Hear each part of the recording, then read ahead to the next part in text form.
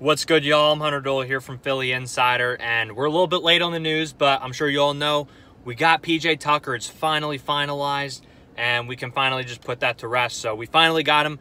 Um, yeah, it was a was a good sum of money. Came out to around 33.1 million, 33.3 or something like that. Um, and it's all fully guaranteed, so that it is a pretty large deal. But I do think I do think. Look, I mean, while he's older, um, I think Greg Melly said it on DJ Eastwood stream the other night best you know, his game isn't predicated upon athleticism, right? He can sit in the corners and shoot there when Harden can create open shots for him and dish out. And obviously, he's a phenomenal defender. Um, I think Sanjay said it. If you don't know who he is as a defender, you probably don't watch much NBA. Uh, one of the better defenders in the NBA for sure, especially one on one. And we also signed Danuel House, who was also a former Rockets guy, Morey guy. I know I know Morey's drawn criticism, Philadelphia Rockets and all that stuff, but I do like it. Look, he shoots fairly well from three.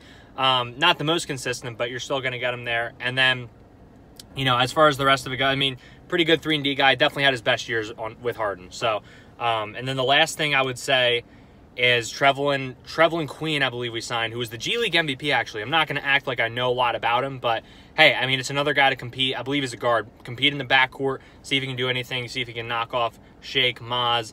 Um, if you consider Maz backcourt, I know he's more of kind of like that perimeter threat, but um, does play point from time to time.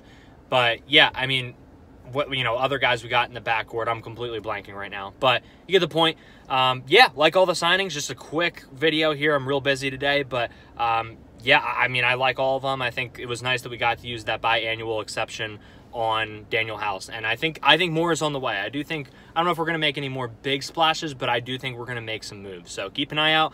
We'll be sure to cover it. And yeah, first day free agency is underway. So we'll see y'all later. Peace out. God bless.